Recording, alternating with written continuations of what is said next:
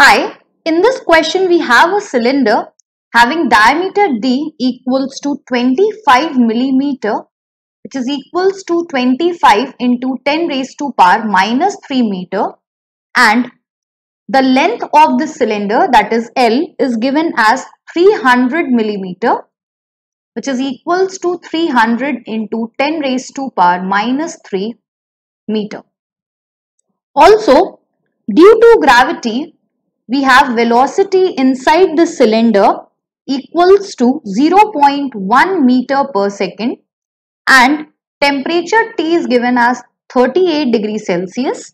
Relative density that is rho is given as 7.85 gram per centimeter cube which can also be written as 7.85 into 10 raised to power 3 kilogram per meter The value of viscosity that is mu is given as 0.3 pascal second and they are asking us to calculate the clearance between the tube and the cylinder.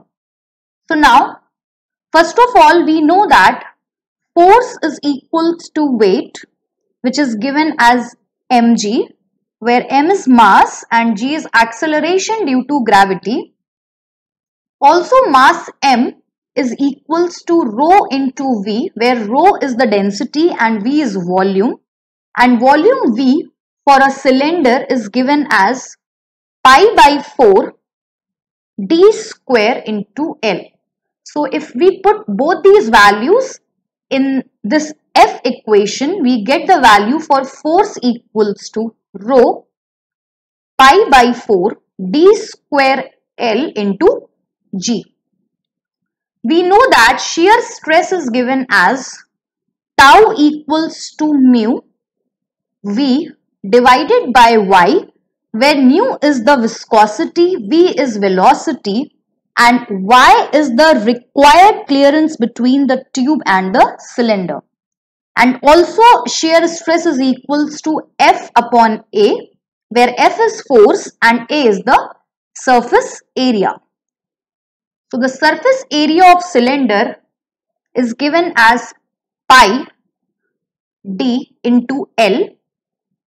So now if we equate both the expressions we'll have F upon A equals to mu V divided by Y. So now if we write this expression in terms of Y, so we'll have Y equals to mu V A divided by F. So we have the value for F and A. So we'll just substitute these values. So we'll have Y equals to mu V. Area is pi dl and force is rho pi by 4 d square lg. So on solving this expression, we have the value for y equals to 4 mu v divided by rho dg.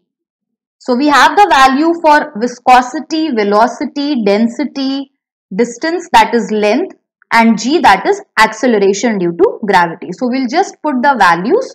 So y will be equals to 4 into 0.3 multiplied by 0.1 divided by 7.85 into 10 raised to power 3 into 25 into 10 raised to power minus 3 into 9.8. So on solving this, we get the value for y equals to 6.23 into 10 raised to power minus 5 meter. So this is the required clearance length between the tube and the cylinder. Thank you.